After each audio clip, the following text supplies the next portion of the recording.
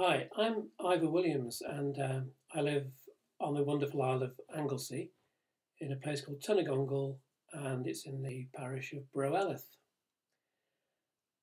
My favourite story so far in the Bible is from the Mark Gospel, chapter 2, verses 1 to 12.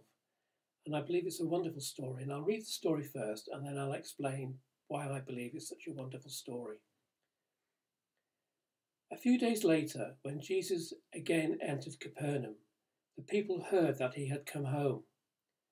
They gathered in such large numbers that there was no room left, not even outside the door. And he preached the word to them. Some men came, bringing to him a paralyzed man, carried by four of them. Since they could not get him to Jesus because of the crowd, they made an opening in the roof above Jesus by digging through it, and then lowered the mat the man was lying on. When Jesus saw their faith, he said to the paralyzed man, Son, your sins are forgiven. Now some teachers of the law were sitting there, thinking to themselves, Why does this fellow talk like that? He's blaspheming. Who can forgive sins but God alone? Immediately Jesus knew in his spirit that this was what they were thinking in their hearts, and he said to them, why are you thinking these things? Which is easier to say to this paralyzed man, Your sins are forgiven? Or to say, Get up, take your mat, and walk? But I want, I want you to know that the Son of Man has authority on earth to forgive sins. So he said to the man, I tell you, get up, take your mat, and go home. He got up, took his mat, and walked out in full view of them all.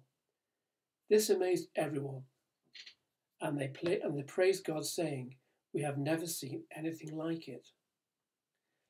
So why do I like that story? Well, in my view, it's got everything a story needs. First of all, it's love thy neighbour. You know, these four men carried their neighbour or their relative, hoping that God or Jesus would be able to um, to, to, cure this poor poor chap. So the love thy neighbour comes to mind straight away, and also their determination when they got there, they couldn't get into this house where Jesus was to put their friend in front of him. So they showed determination and ingenuity to actually dig a hole in the roof and lower the mat down. I mean, it's fantastic, their determination they had faith that Jesus would cure their friend or relative. And because of this faith, Jesus showed his love for mankind. He cured the man and asked him to get up off his mat, and he was cured. What a wonderful story that is. Thank you.